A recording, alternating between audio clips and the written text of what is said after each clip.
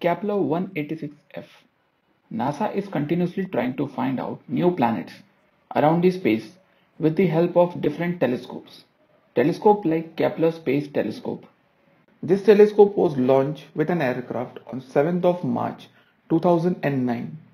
Because of reaction control fuel depletion, this telescope was officially retired on 30th of October 2018.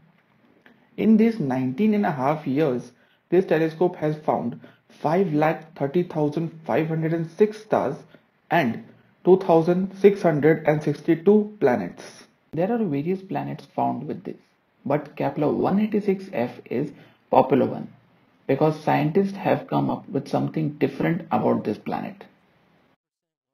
This planet is about 582 light years away from the Earth.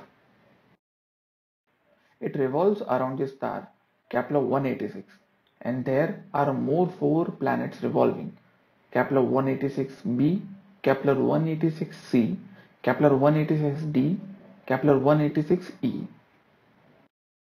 It is 11% larger than the Earth and takes around 129 days to complete its revolution.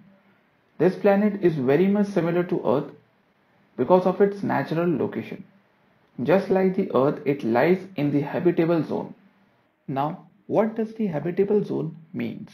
The habitable zone is an area around a star where it is not too hot or cold for liquid water to exist on the planet.